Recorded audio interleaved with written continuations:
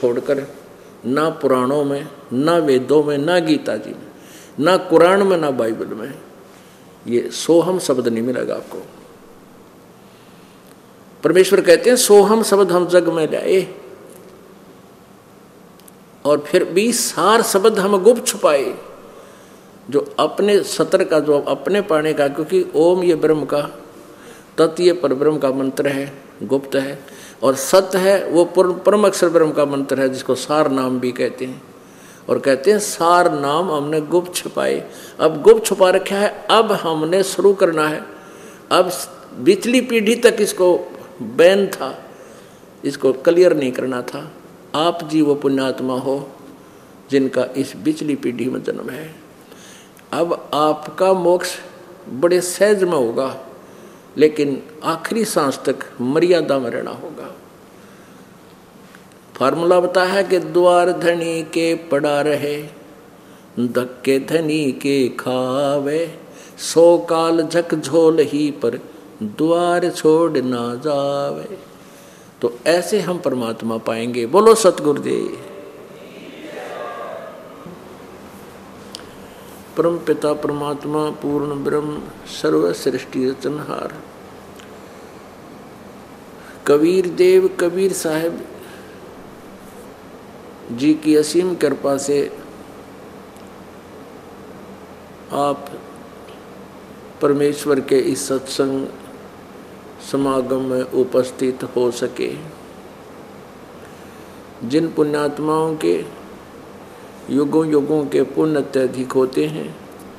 उन्हीं पुण्यात्माओं को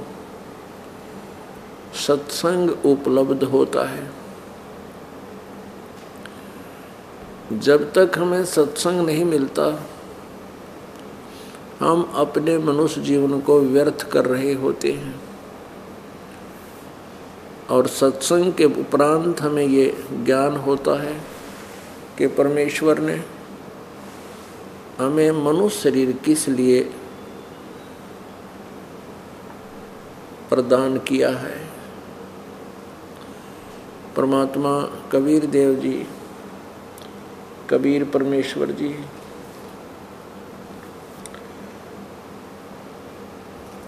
अपनी प्यारी आत्माओं को, अपनी प्यारी आत्माओं को जो उनसे बिछुड़ कर यहाँ काल के जाल में फंस चुकी हैं। यथार्थ ज्ञान देने के लिए स्वयं ही सतलोक से चल कर आते हैं। और अपने पाने की विधि ठीक ठीक वही बता कर जाते हैं। वे सह शरीर आते हैं, सह शरीर जाते हैं।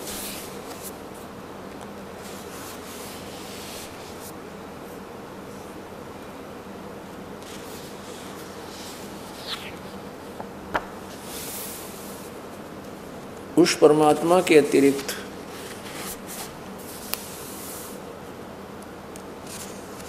कोई भी प्राणी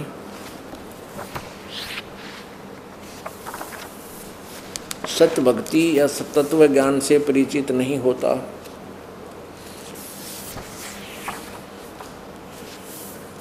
इस काल भगवान ने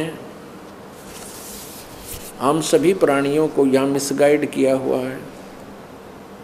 और अपने स्वार्थव समय यहाँ पर फंसा रखा है। परम पिता परमात्मा, कबीर देव जी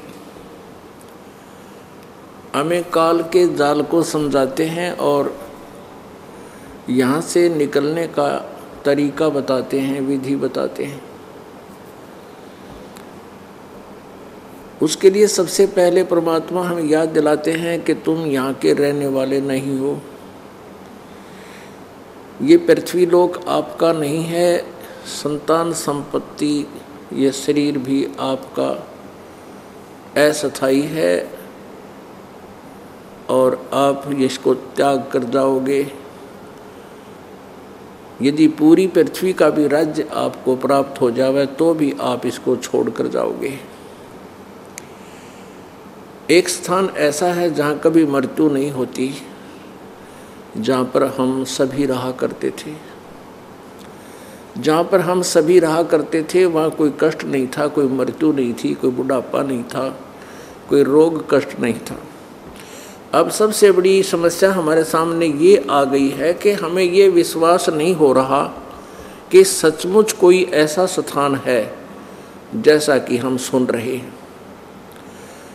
इसका विश्वास करने का बहुत प्रमाण है, बहुत से तरीके हैं जैसे परमेश्वर कबीर देव जी ने आकर ये ज्ञान बताया। परमेश्वर कबीर जी ने और भी बहुत से महापुरुषों को, उन अच्छी आत्माओं को उस सत्यलोक के दर्शन कराए। और फिर उनको वापस छोड़ा। उद्देश्य यही था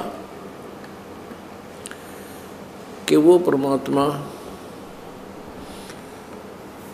अपने गवाह तैयार करे, जो उस परमेश्वर को देखकर, सतलोक को आँखों देख करके और फिर उसकी गवाही दें, जिससे अन्य प्राणियों को विश्वास हो जावे। पुण्यात्माओं, जिन महापुरुषों को, श्रेष्ठ आत्माओं को परमात्मा मिलते हैं, वो युगों युगों के बहुत अच्छे संस्कारी हंस होते हैं और वो सतलोक में प्रवेश करने योग्य होते हैं और कुछ परमेश्वर अपनी रजा से उनको योग्य बना करके सतलोक दिखा करके वापस छोड़ देते हैं। अब हमने ये विश्वास इस करना पड़ेगा, ऐसे विश्वास करें कि जिन महापुरुषों ने सचखंड को देखा, सतलोक को देखा, वहाँ परमेश्वर को देखा, और वहाँ के सुख के विषय में जानकारी दी, वहाँ की सतिथि से परिचित करवाया, अपने एफिडेविट लिख दिए, अपनी अमृतवाणी में प्रमाण दे दिए। तो इस प्रकार हमने विश्वास करना पड़ेगा कि हम सतलोक से आए थे और वहाँ जाने पर ही हमें सुख प्राप्त होगा। फिर जन्म मृत्यु कभी नहीं होगी। विश्वास करने का दूसरा एक और कारण है, जैसे हमारे सदग्रंथ भी यही प्रमाण देते हैं। श्रीमद् भगवत गीता अध्याय नंबर अठारह के श्लोक नंबर बैसठ में गीता ज्ञानदाता कहता है कि अर्जुन तू सर्वभाव से उस परमेश्वर की शरण में जा, जिसकी कृपा से तो परम शांति को और सनातन परम धाम को प्राप्त होगा। सनातन परम धाम, शाश्वतम स्थानम शाश्वतम माने सदा रहने वाला जो कभी विनाश को प्राप्त नहीं होता, जिसका कभी विनाश नहीं होता। अमर स्थान। और वहाँ पर परम शांति होगी। वहाँ सर्व सुख होगा। और वहाँ जाने के बाद फिर जन्म मृत्यु नहीं होती। गीता जी अध्याय नंबर पंद्रह के श्लोक नंबर एक से चार में स्पष्ट किया है कि जब तुझे तत्वदर्शी संत प्राप्त हो जा, और तत्वदर्शी संत कैसा होगा, वो भी इसमें वर्णित है अध्याय नंबर पंद्रह के श्लोक नंबर एक में। उसके पश्चात उस परम पद परमेश्वर की खोज करनी चाहिए। उस परमेश्वर के परम पद की खोज करनी चाहिए। उस तत्परम के परम पद उस परम स्थान की पद का अर्थ होता है, एक तो पद्धति, वे ऑफ़ वर्शिप। एक पद होती है उपाधि,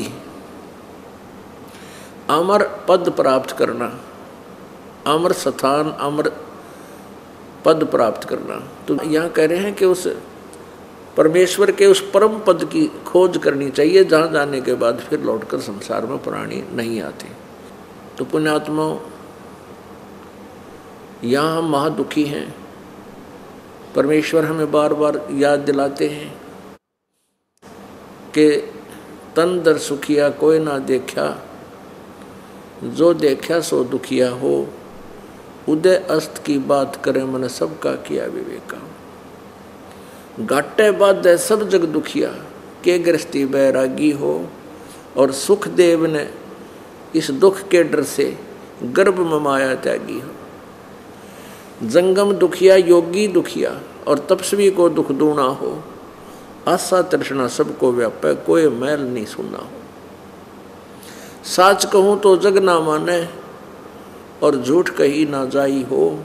ये ब्रह्मा, विष्णु शिव जी दुखिया, जिन ये राह चलाई सुरपति दुखिया, भूपति दुखिया, रंग दुखी बपरीति हो। कह कबीर, और सब दुखिया, एक संत सुखी मन जीती हो। यहाँ पर कोई भी प्राणी सुखी नहीं है। विष्णु जी के विचार सुन लीजिए। श्री देवी भागवत में, प्रथम सकंद में प्रश्न नंबर अट्ठाईस उनतीस में स्पष्ट कहता है कि मैं ज़्यादातर तपस्या करता रहता हूँ और तप करके फिर बैटरी चार्ज करके, शक्ति प्राप्त करके फिर राक्षसों से लड़ता रहता हूँ। और कभी थोड़ा बहुत समय मिला तो लक्ष्मी के साथ सुखपूर्वक व्यतीत कर पाता हूँ, नहीं तो इन राक्षसों को मारना मेरा कर्तव्य है, ड्यूटी है। और मैं दुर्गा की पूजा करता हूँ। इस दुर्गा से ऊपर मैं किसी भगवान से परिचित नहीं हूँ, मुझे ज्ञान नहीं है। मैं इसी को फाइनल गॉड मान रहा हूँ। अपनात्मा परमेश्वर कबीर देव जी ने आकर के हमें ये अनमोल ज्ञान दिया और इस ज्ञान का अब हमने लाभ उठाना चाहिए। परमात्मा कहते हैं ये बातें कहन सुन की नहीं है, ये कर पाड़न की है। अब जैसे आदरणीय गरीबदास साहिब जी छुड़ाने वाले, जिनको परमात्मा मिले, जब वो दस वर्ष की आयु के थे, सचखंड लेकर गए उस उस श्रेष्ठ आत्मा को, अच्छी आत्मा को, और फिर वापस छोड़ा। गरीबदास जी के शरीर को मृत जानकर चिता पर रख दिया गया था। फिर एकदम चेतना आ गई। चिता से ऊपर अपने आप उठ उठ कर चल पड़े चिता से। और जो अपने आँखों देखा था, वो हाल अपनी अमृतवाणी में वर्णित किया।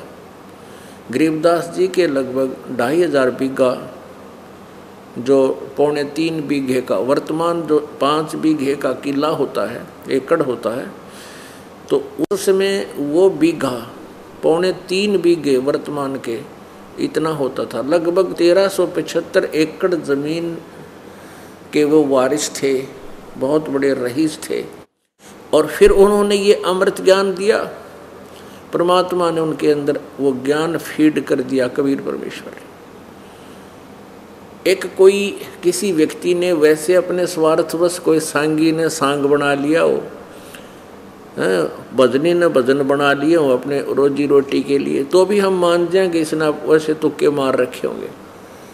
वो तो हर तरह से संपन्न थे, समृद्ध थे और उस परमेश्वर की महिमा आँखों देखी गरीबदास जी ने वर्णित की। तो उन्होंने क्या बताया? संतो मन की माला फेरो। संतो मन की माला फेरो।